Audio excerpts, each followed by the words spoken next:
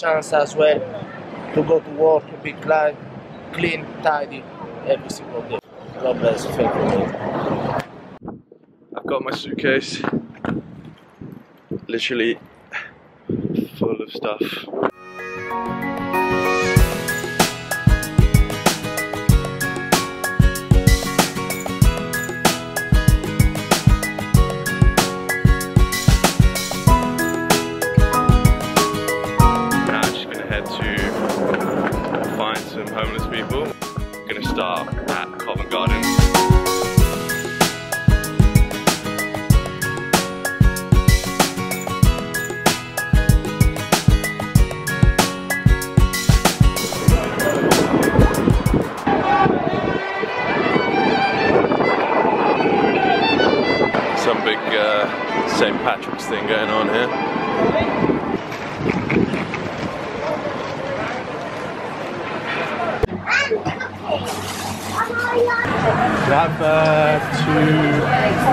Cappuccinos, please?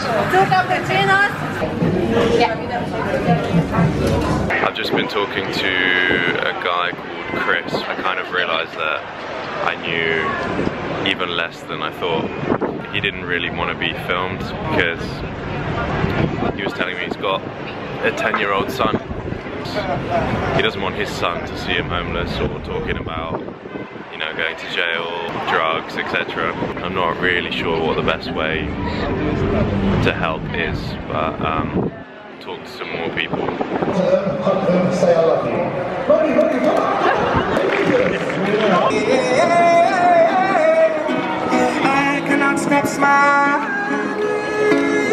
We have uh, Mr. Marco, Italian, Italian Marco. The current plan is gonna hold up this sign.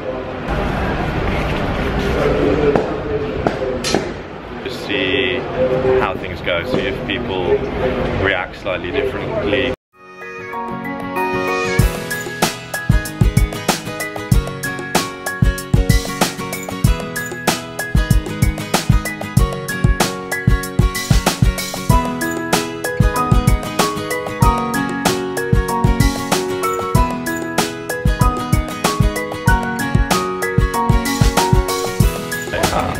Somebody.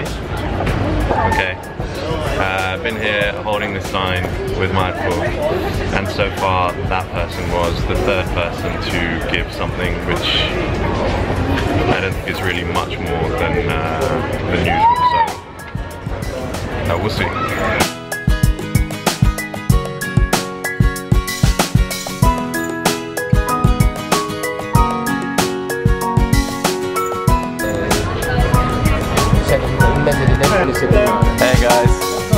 Uh, can I have a coffee, please?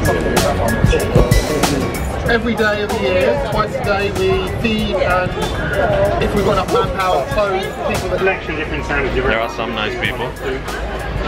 Yes, I know. Yeah, yeah, yeah, yeah. Listen, yeah, I get that. Those two? Yeah, yeah,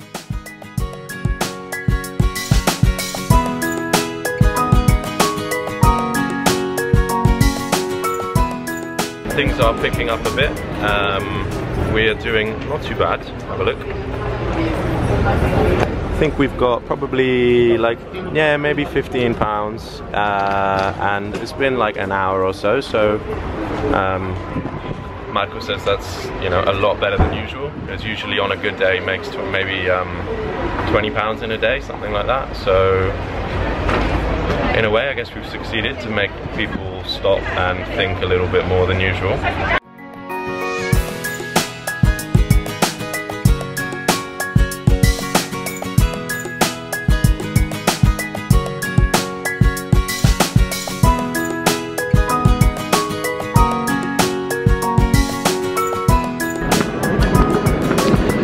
Okay, so me and Marco are gonna go and head to find some of his mates and see if we can get some interviews or something along those lines.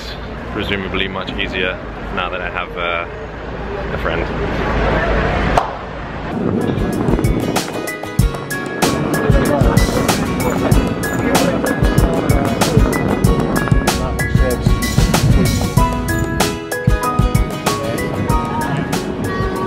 My name's Kurt. Kirk. George. Nice to meet you, Kirk. So what? Because what you're doing is very, very nice. Yeah. You know, I feel their pain.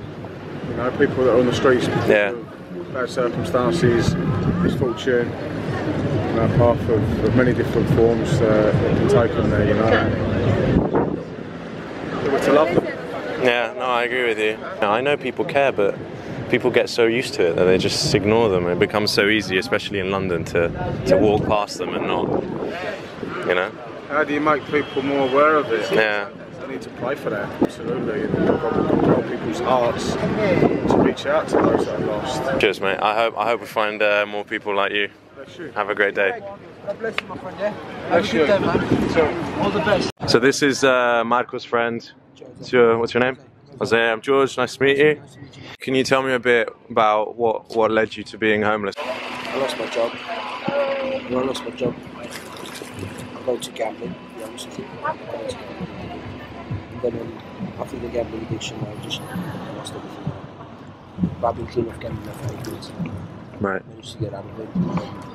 How hard do you think it would be for an average Joe that you see walking on the street to become homeless? Because I think a lot of people feel a lot of distance between themselves and, and, and you. People say you only become homeless because you want to become homeless. N- Nah, nah.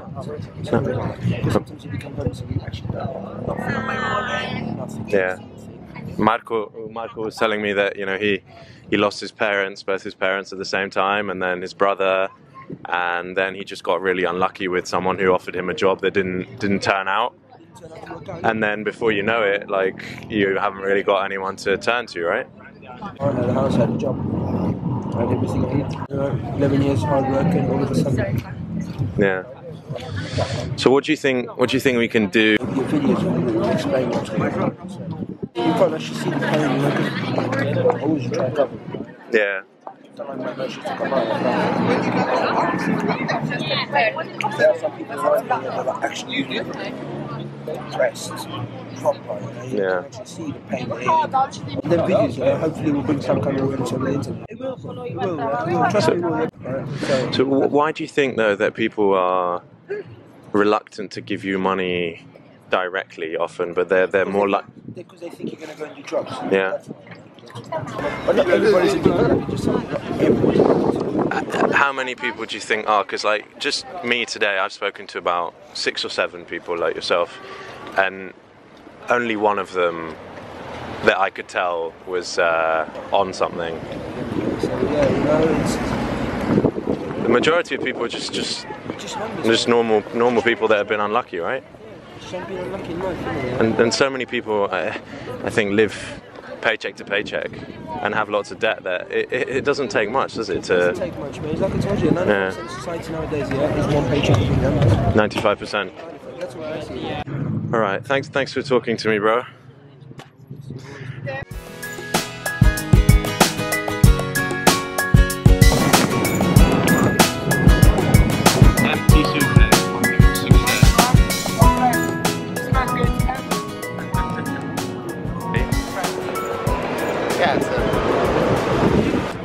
Marco, tell me how much do you think it would uh, cost or what a person would need to get back off the streets? Uh, not much. Not much. much, not much. We, we, will be enough to, reach the money to get uh, a room. Yeah, so let's say for deposit and uh, rent in advance. Talking about single person, I, guess about one thousand pound. So once you have that, that is that the main thing because that gives you proof of address, right? To get a job. chance as well to go to work, to be clean, clean, tidy every single day. Yeah. So how how hard do you think it is then to find work if you do have a room or proof of address? uh, It's not hard at all. No? Not hard at all. So what what? Fortunately, in this country, if you are willing, Yeah, you can get a job the day after. the day after. So what what kind of thing do you think people can do? Any kind of job, from the catering to the street cleaner, Yeah. uh, cleaning company. Anyway, no, anyway, that job is not a problem because, as I told you, you can start work the day after. Yeah? The problem is just the accommodation. That's uh, it's very interesting to hear because I think a lot of people think that that's the problem, that it's hard to find work, you know, that people Uh, can't find work. Uh, sorry if I rude, it's a big bullshit. Yeah. It's big bullshit. yeah, in this country, anyway. If you are willing to move your husband, you Yeah. can work the day. Yeah. So can, can you tell me a little bit about what was it that caused you to become homeless? Because you told me you've only been on the street for about seven weeks, right? Anyway, it was a bit funny story through somebody else which let me come back from different city to London, and got me this job and accommodation, basically took me the piece, yeah, and that's how I end up in the street. That's what. Uh, So he promised you uh, a job. job, uh, better job than the one which I had, yeah, and uh, accommodation as well. But basically, just took my money for rent and the end off to to disappear. So he disappeared with your money. Yeah, with my money. That's what happened. So this could happen to anyone, really, right? Of course. Of Yeah. course. To you Okay. as well, which you are. To me as well. We're gonna try and see what we can do, do an uh, online fundraising and see if we can uh, follow you on your journey to getting back on your feet. God bless. Thank you. Good man, thank you.